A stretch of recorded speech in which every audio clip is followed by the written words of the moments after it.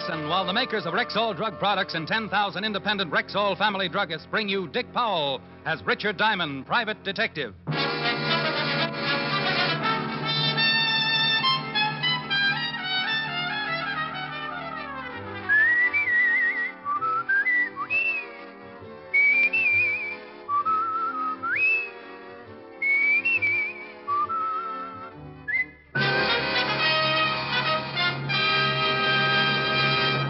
Good evening. This is Bill Foreman speaking to you for the 10,000 independent druggists who have made the word Rexall part of their own store names.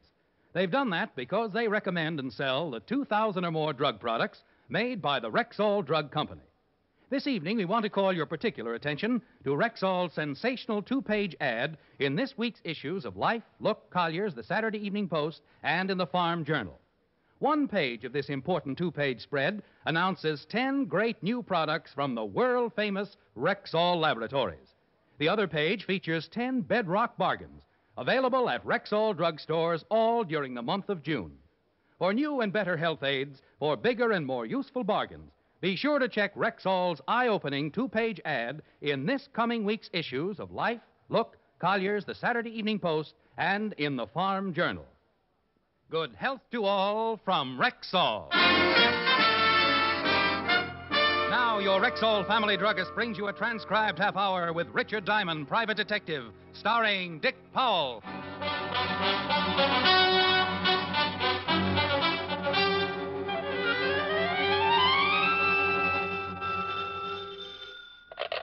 Diamond Detective Agency?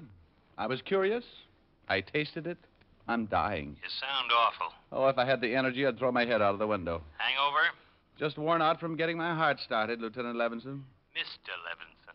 What do you mean? As of five minutes ago, I became just plain Mr. Levinson. Oh, think what a shock that's going to be to just plain Bill. At exactly three o'clock, I started on my two weeks vacation. I am going fishing. I want to get lost in the woods somewhere.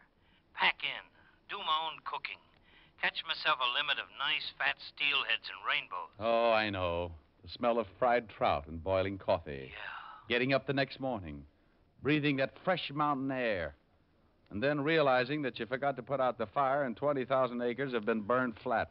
Yeah. That was pretty mean. I'll go on. Get next to nature. Too bad you have to stay in town and work. I hope you get scurvy. Bye, Blue Eyes. No. Mr. Diamond? Yeah. My name is Holland, Mr. Diamond. Arthur Holland. Well, sit down, Mr. Holland. What can I do for you? First, come over to this window. Any particular reason, or do you plan on an accidental suicide? There should be a man standing across the street. He's been following me. No? What does this man look like? Crew cut, short, fat, wearing a black leather jacket. There he is. In front of the cigar store? Yes. Hmm. Who is he? I have no idea. I've never seen him before. Know why he might be following you? No. How long has he been following you? Since this morning. Mm, well, okay. What did you come to see me for? My brother's name is William, William B. Holland. A long time ago, he left the family and started out to see the world. Started working his way from place to place. Although William has been gone for nearly ten years, not once in those ten years have I failed to receive a weekly letter. But he hasn't written lately. Not for a month. Where was the last place he wrote you from? San Borja, Bolivia. Uh, never heard of it. It's a small city in the interior. Now, while in La Paz, he wrote me that he'd met a man named Louis Frober. This Frober was from San Borja and, according to Will, practically ran the place. Now, Will said he was going to visit him, and in his last two letters, he talked much of Frober and his hospitality, but said that something was wrong in this town of San Borja. Didn't say what it was? Didn't know. Then his letter stopped. Yes. Mm-hmm. And you wanted me to find out why they stopped, if anything's happened to your brother. Mr. Diamond, I'm quite wealthy, and I will pay you handsomely to take the job. Besides, it might turn into a nice vacation. South America is supposed to be wonderful this time of year. Vacation? Possibly. Hmm. Well, uh, uh, Mr. Holland, I'll, uh, I'll take the job on two conditions. Mm, What are they? Well, first, my fee, 100 a day in expenses. Accepted. Hmm, thank you. Second, that you purchase two tickets for San Borja, Bolivia. Two tickets. Well, I'd like to take my assistant along. Bolivia is new territory for me, and it might be dangerous. I checked on you quite thoroughly, and I didn't find that you worked with an assistant. Well, uh, only on the cases that take me out of town. He's a worldly man. He could find a trout in the Sahara. Lots of experience.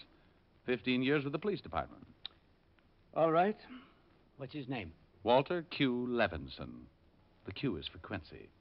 But don't tell him I mentioned it. Well, that's how it works. Man comes in, wants me to find his brother. Last seen in South America. Walt Levinson was looking for a vacation spot, and I was looking for someone to talk to on my way to San Borja. Result? One phone call to Fatty Levinson. Bolivia? Oh, but you'll love it, Walt. Trout as big as sharks. Where did you get two tickets to Bolivia? Well, to tell you the truth, Fatty, I'm going down on a little job. See you when you get back. Bye. Now, wait a minute. Wait a minute, you ingrate. I've just got to find a missing brother. After that, we can relax and have ourselves a time. Oh, think of it. South America. The ocean as blue as my eyes. Dames Native music under a golden moon. and dames. Quaint little. Out- what did you say? Dames. Well, I'll meet you at the airport.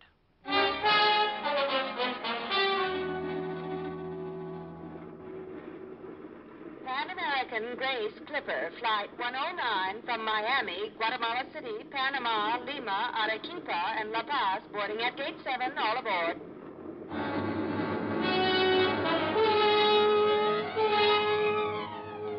Pan American Clipper, destination La Paz, Bolivia.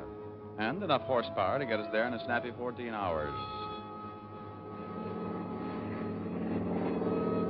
The lights of Manhattan dropping away as we turn on the first leg of our pattern, heading up for 16,000. Looking down and wondering about a man in a leather jacket and a crew cut. Looking down as the lights begin to melt into a heavy cold front. 16,000 flying south, the pits changing the propellers into a mellow hum. Why don't you relax? Well, did you notice a little blonde stewardess with the high altitude features? On the way in. I want to get some sleep. Well, indulge yourself. I'm going to see if I can do something about the pressure in this cabin. The water on my knee is beginning to percolate. Oh, miss!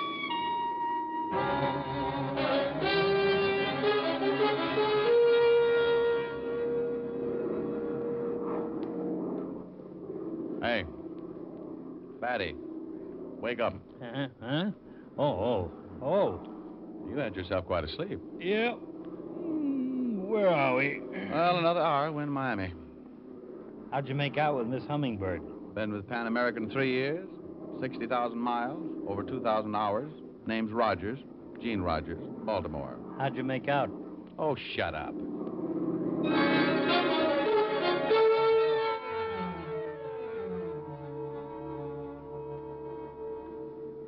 Compañía Panagra anuncia la llegada procedente de Nueva York. Los pasajeros desembarcarán en el terminal de Panagra número 3. Pan American Grace Airline Clipper Flight 109 from New York, now unloading at gate number 3. Oh, I'm a little stiff. I didn't know you brought anything with you. What now? Well, pick up our baggage and on to San Borja. Where the devil is San Borja? How do I know? Let's go find out. And we did. San Borja, according to the information desk, was some 200 kilometers into the interior. 10,000 feet above sea level, high on a plateau. And the only way there? Oh, this is swell. Dandy vacation, but what happens when my liver comes loose? Well, relax, Walt. Only 160 kilometers to go. Considering where we are, these roads are pretty good. We'll never make it. I lay eight to five. We end up riding side saddle on a bilious llama. Hey, driver, senor. why no airfield in San Borja? Oh, there is one there. But it is what you call the emergency. It is hard for a plane to land. Something to do with the wind. It's a plateau, isn't it? Uh, si, senor. We got to climb 5,000 feet yet. Sounds like an ambitious chiropodist. Ten o'clock and the morning sun getting hotter. The old Ford straining up the grade like an antique teapot. Eleven o'clock and the temperature crowding 120. I want to go home. Oh, we got to stop and let her cool off. Blue ocean and tropical music. Ha! Oh. How much farther, driver? Oh, about 20 kilometers, senor. I'm going to put some water from the canteen in the radiator. Hmm. Hey, Walt, let's stretch our legs, huh? Okay. Oh, lousy humidity. Oh, she sure was empty. He means his head. Duck, duck, Walt. On the car. You okay? Yeah. I think they're behind that hill. I'll go out this side and try to circle them. Keep them covered. Right. Keep your head down. Gee, I'm glad you thought of that. Walt covered me, and I crawled out behind the car and took off for a bunch of trees. They didn't spot me until I'd circled them and was almost on top of them. Two men with rifles lying behind a small hill. One of them turned and spotted me moving in. Walt? Yeah? Okay. Okay. You all in one piece? Yeah. How about you? Fine. Two of them, huh? Yeah, bandits, I guess. You got them both. Wonder what they're after. Our hides. Came close to getting them, too. The unexpected. Two men with rifles hiding behind a hill. If I hadn't gotten them, they'd have gotten us. We picked them up, dragged them over to the car, and I kept asking myself why. Why two men behind a hill with rifles? Bandits? Maybe. Assassins paid to wait there and kill us? If that was the answer, who told them we were coming? The man in the leather jacket back in New York? Maybe. Dumped them in the car. Yeah. The drivers had it. Slug got him in the chest. I'll dump him in, too. Let's get to San Borja and get some answers. And if you say anything about a vacation, I'll sing all the way up the hill.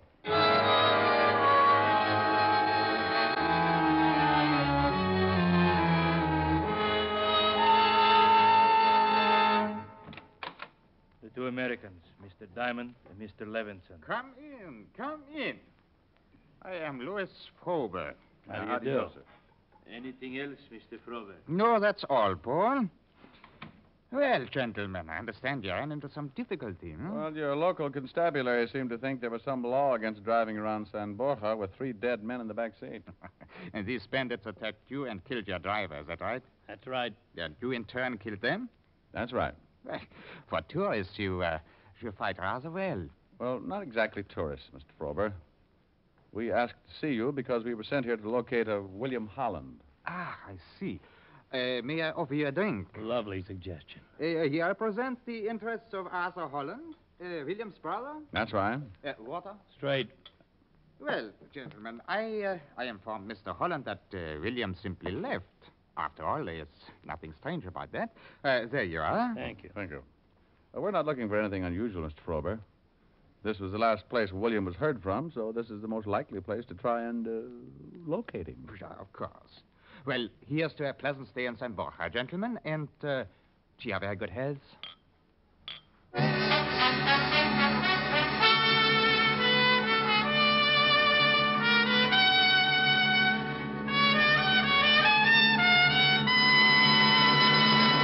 Next week's issues of Life, Look, Collier's, the Saturday Evening Post, and the Farm Journal carry one of the most important Rexall advertisements ever published. One page of this amazing two page spread announces 10 great new products direct from the world famous Rexall laboratories. The other features 10 down to the bone bargains available at every Rexall drugstore all during June. Listen to just a couple of examples. From the product page Rexall 5X multivitamins, a new and vital formula that gives you five times the established daily requirement of all vitamins with known minimums. Special introductory offer 10 day trial size, $1.79 value, free of extra cost with a purchase of the regular bottle of 50, both for only $6.95. From the bargain page, gold plated metal frame sunglasses, men's and ladies' styles, regular dollar value, now only 67 cents. Remember, for new and better health aids, for bigger and more useful bargains, check Rexall's sensational two page ad in next week's issues of Life, Look, Collier's, the Saturday Evening Post, and in the Farm Journal. And now back to tonight's adventure with Richard Diamond, Private Detective, starring Dick Powell. Louis Frober, big man with a slight accent, drinking to our health and extending an invitation to his house for dinner that evening. One hotel in San Borja, not many tourists, according to the manager, but good rooms and hot water, according to the manager. Sandwiches and a late lunch compliments the hotel. Frober owned the hotel, according to the manager. It's open. If you gentlemen would like, Mr. Frober instructed me to show you around the town. Who is it? You want to see the town? Sure. I'm glad to have you show us around. What's your name? Yavacek.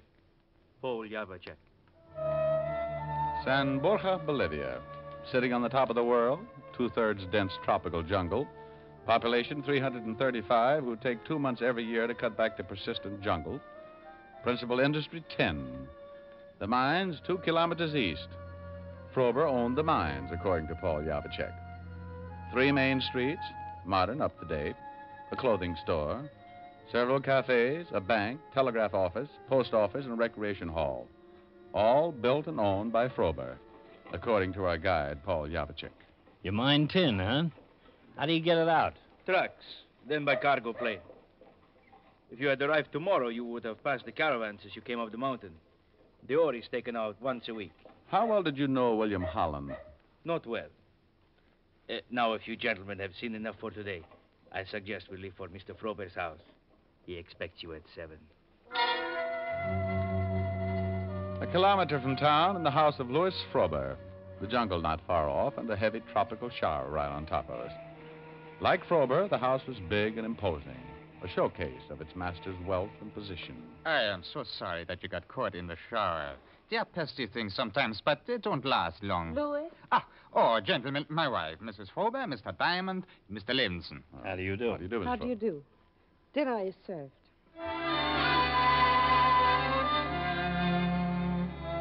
Dinner. The long, paneled dining room illuminated by a dozen candles. Music floating in from a hidden speaker. The food, something to make the Waldorf chef quietly fold his tent. And the conversation? Do you plan to stay in San Borja long, Mr. Diamond? It's hard to say, Mrs. Frober. It's a wonderful soup. Uh, Mr. Diamond and Mr. Levinson have been sent here to try and locate uh, William Holland. Oh?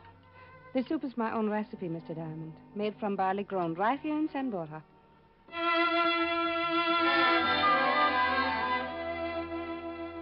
Just a casual dinner conversation, unless you're conditioned, aware of the subtle interrogation.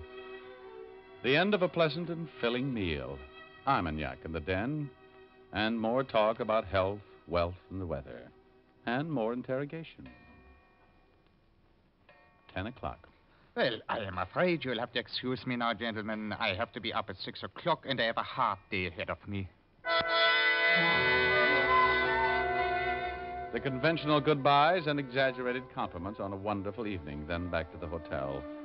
All in all, a very interesting evening, according to Fatty Levinson. Our charming hostess slipped me a note as we left. Why, Walt. I must talk with you. My husband will be leaving the house shortly before midnight. Meet me in the garden at 12. Why, Walt. It's addressed to you. Why, Ricky. A quarter to twelve? Then out the back of the hotel, because in San Borja, everyone works for Louis Frober. Heading for Frober's house. Walt 50 yards behind, because in San Borja, a note asking you to meet the wife of Louis Frober might easily be a trap.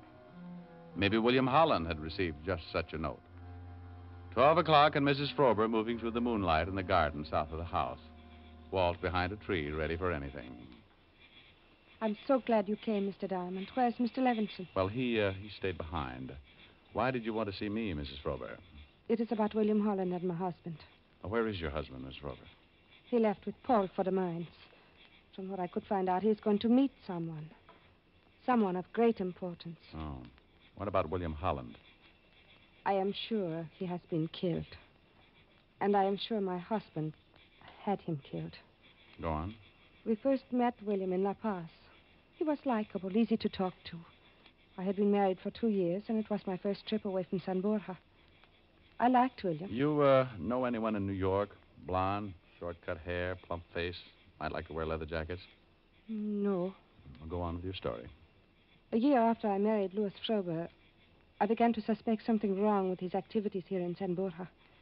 The men who came to see him on business. Strange men. Foreigners to South America. long nights of business meetings and trips to the mines. When William finally came here, I told him of my suspicions. And one night he informed me he was going to the mines to investigate. I never heard from him again. You think it had something to do with your husband? Right after that, I overheard a phone conversation by my husband. He was talking to someone he called the director. The director? Yes. My husband said that William had found his way into the mines and had been eliminated. I see. You've only known your husband for two years. Two years and a half. Hmm. I met him in Rio while he was down on one of his business trips. I married him six months later and came to San Borja to live. Would you like to know where I met my husband, Mr. Diamond? If you think it's necessary. With what I've come to believe, I feel that it is most necessary. I met him at a party given by the Russian embassy. Mr. Diamond, I am sure that my husband is an important official for the communists.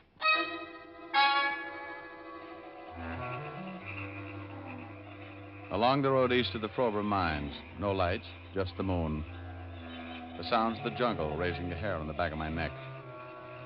A kilometer from the mines, and the dull glow in the sky pointing the way. Frober's generators and manpower working late. The kilometer passed, and the tenseness in the middle of my stomach took on cramp like proportions.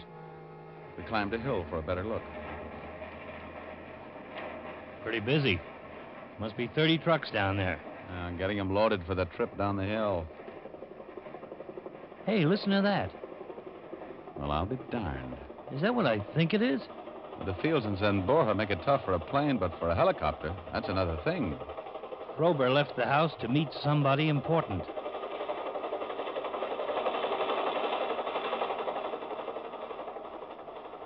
Anybody who comes into San Borja in a helicopter at night is a pretty good bet to be important. Our dead driver said there was an emergency field. Well, it's landing on the other side of the mines. Must be close. You want to take a look?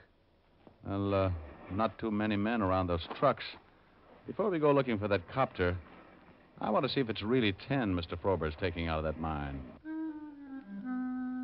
Down the hill, Walt 20 yards behind in case of trouble. Picking our way through the brush, trying not to sound like a landslide. A long road running away from the mines toward San Borja. The line of trucks, the first dozen or so loaded and ready, their backs piled high with sacks. A short sprint, and I was boosting myself up on the back of the first truck, digging into one of the sacks, feeling the heavy chunks of ore. Then down off the truck with the ore in my hand. You're up late, Mr. Diamond. Paul Yavacek, Frober's right hand boy, standing in the darkness, his gun pointed right at my stomach. Mr. Frober will be happy to know of your interest in these mines. Start walking up the road toward the main gate. Stay ahead of me. Keep your hands in sight. Tell me something, Yavacek. How do you get tin out of pitch blend? I suggest you ask Mr. Frober. He's at the mines? He will be. Drop it, Yavacek. Thanks, Walt. Thanks. You all right? Yeah, it's close. Yavacek? Dead. Come on, let's get out of here. Where to? Well, Mrs. Frober said her husband had a phone conversation. I'm going to use that phone and warn La Paz about Frober. Hold it. What is it? Car coming down the road. Frober. Yeah, yeah, and he's got company. Probably his important visitor. When he finds out what's happened, he'll guess it's us. We'll never get back to town before he does. Unless we drive. I will take a chance on the confusion and grab that first truck. Clear. Keys are in the truck.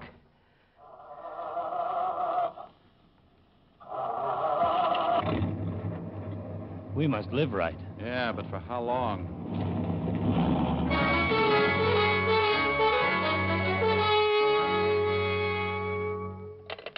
There is a direct phone line all the way to Cavendo. The operator at Cavendo can put you through to La Paz. Bueno. Operadora de Covendo, ¿puede recibir? She's talking Spanish. You better take it. Oh. Esta es la señora Frober. Favor de conectarme con La Paz. Minutes running out. Mrs. Frober looking frightened, waiting for La Paz to answer. She has them. Ask for the embassy. Car pulling up. La Embajada Americana, por favor. Frober and his important friend. Mr. Diamond, I have them. Hello? Yes, American Embassy. Now listen carefully. I can't repeat. This is Richard Diamond, American citizen, calling from San Borja, Bolivia. Louis Frober is not mining tin. It's pitchblende, and is believed to be working for the Russian government. Look out! Hello. Hello, Mr. Diamond. Rick, Okay. Mrs. Frober. I'm all right. Take a look at Frober and his friend. Hello, hello. What happened? Now, hold on a second. There's been some trouble. Frober's friend is dead. Oh, no. Frober's moving, but it doesn't look very good. Hello. Hello, La Paz. Yes, Mr. Diamond. Go ahead. What about Frober? Wait a minute. Maybe I can get him to tell you himself if the phone will reach. Oh. Frober. Frober, can you hear me? Hello, La Paz. There's been a shooting here, and Mr. Frober's dying. Frober. Yeah. Frober, you're dying. You want to tell us about it? Uh, You're mining pitchblende instead of tin, right? right. You're working for the Soviet Union? Yeah. Did you send two men to ambush me? Yeah. Uh, our agents in New York watched Asa Holland and reported that she had been hired. The guy with the crew cut and a leather jacket. Did you have William Holland killed?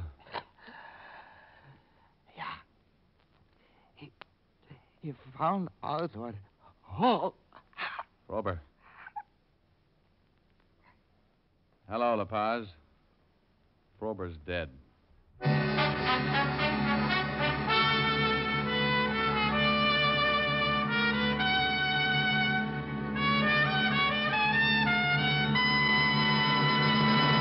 This time of year, no woman wants to spend endless hours caring for her skin and makeup. Since you want the finest beauty care in the least time and with no nonsense about it, why not try the new Ann Delafield Cosmetics? Designed expressly for the busy modern woman, they give you the most for your cosmetic dollar and save time as well. There are no endless bottles and jars, no endless creams for different corners of your face and neck. Just one fine cream the Ann Delafield All Purpose Deep Cream. A day cream, cleansing cream, night cream. All creams in one. There are vitamins, too, for true beauty from within, and other lovely makeup aids tailor made for you. Look for the fine Ann Delafield cosmetics at Rexall drugstores everywhere. Good health to all from Rexall.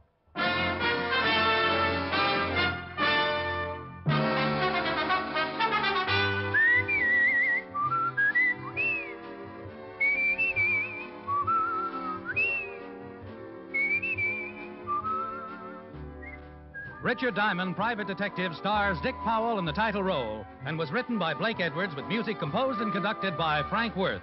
Dick Powell directed the RKO production Split Second, which is now in release, and his latest film appearance was in the Metro Goldwyn Mayer award winning The Bad and the Beautiful. Heard in tonight's cast were Arthur Q. Bryan, Wilms Herbert, Ben Wright, Jack Kruschen, Virginia Gregg, Don Diamond, and Lillian Buyeff. Richard Diamond, Private Detective, is transcribed in Hollywood by Jaime Del Valle.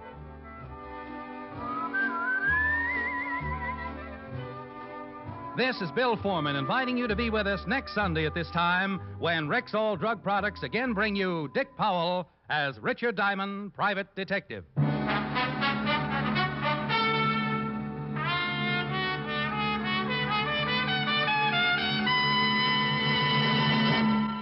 Remember, for new and better health aids, for bigger and more useful bargains, check Rexall's sensational two page ad in next week's issues of Life, Look, Collier's, the Saturday Evening Post, and in the Farm Journal.